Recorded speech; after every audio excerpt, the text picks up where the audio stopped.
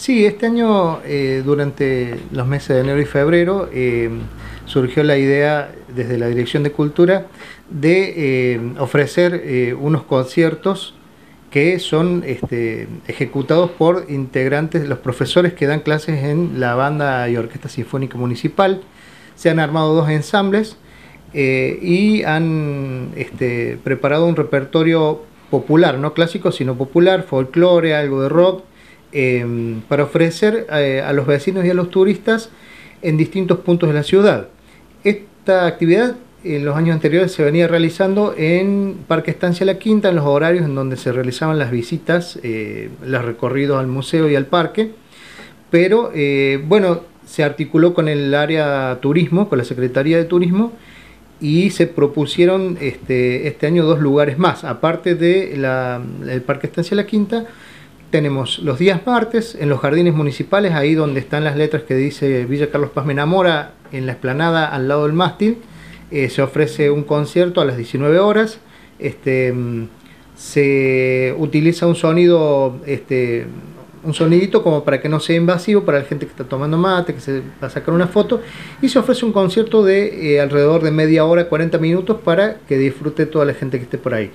Y los días miércoles eh, coincide eh, también a las 19 horas con el horario en que eh, se junta o se agrupa la gente que va a hacer el ascenso nocturno al Cerro de la Cruz, la visita guiada nocturna al Cerro de la Cruz. Entonces, mientras se hace esa espera, también se ofrece un concierto. Ese es uno de los ensambles.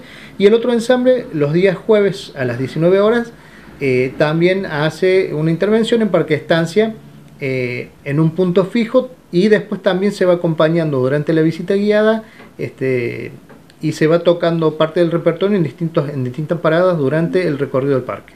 ¿Cuáles son algunos de los profesores que integran este ensamble?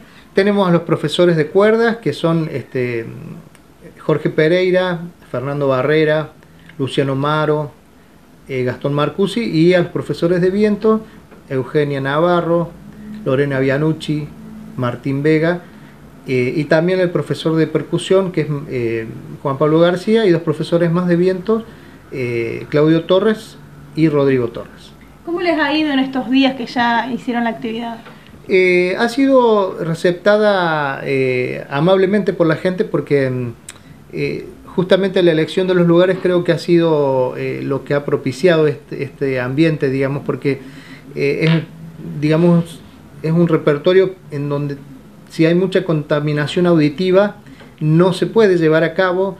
Habíamos pensado también, por ejemplo, en el Cucú en algún momento o en algún lugar más céntrico, pero eh, se pierde mucho eh, este, la, calidad del espectáculo porque eh, hay mucho ruido ambiente. Entonces, en estos lugares, y son lugares donde la gente naturalmente asiste al parque, a los jardines municipales, la gente va a sacarse fotos en la fuente o en las letras, o va a tomar mate a la tarde. Entonces, yo creo que para el vecino o el turista encontrarse con este, un ensamble eh, tocando música, eh, creo que es muy agradable, es una actividad muy grata, así que ha sido muy bien recibida por todo el público. ¿Hasta cuándo van a hacerlo? Eh, creemos que hasta, hasta fines de febrero, hasta la última semana de febrero, porque ya después comenzamos con las actividades anuales, tanto de la orquesta y la banda como de, también de los talleres de instrumentos.